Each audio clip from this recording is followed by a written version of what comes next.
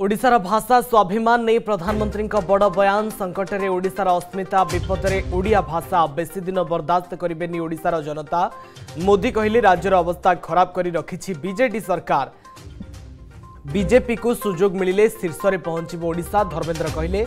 Modi set କଲେ ଚାରି phase ନିର୍ବାଚନ ପାଇଁ ଓଡ଼ିଶାର ଏଜେଣ୍ଡା ଏକୋଇଶରୁ ଏକୋଇଶ ଲୋକସଭା ଆସନ ଜିତିବ ବିଜେପି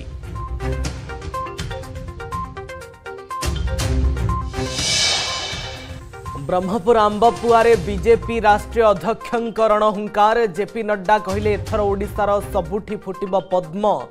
ମୋଦିଙ୍କ ନେତୃତ୍ୱରେ ବିକଶିତ ଭାରତ ସଂକଳ୍ପ ପୂରଣ କରିବା ପାଇଁ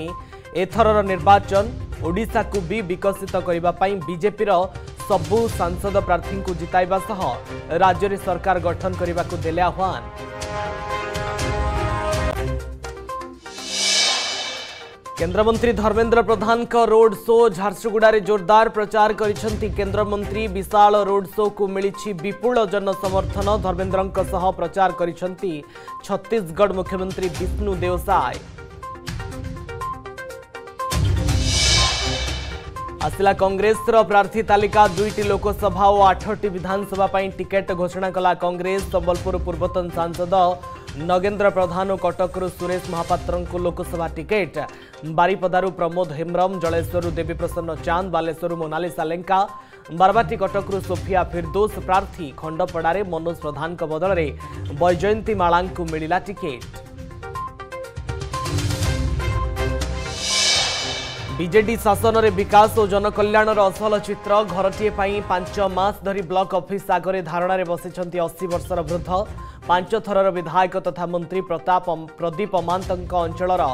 ঘটনা বৌদ্ধ মুন্ডাপড়া পঞ্চায়েত মহাকোଳ ସାହିର ଖେଡ଼ୁ ପ୍ରଧାନଙ୍କ ଜୀବନ ଯନ୍ତ୍ରଣା ପ୍ରତି ଆଖି ବୁଜି ଦେଇଛନ୍ତି ପ୍ରଶାସନ सह्यताती छटपट सारा ओडा पंदर जिला रेड आलर्ट जारी कला पापाग विभाग राज्य में आहरी चार पांच दिन लग रीष्म लहरी रविवार राजधानी भुवनेश्वर में पुणी तेयालीस डिग्री टपिला पारद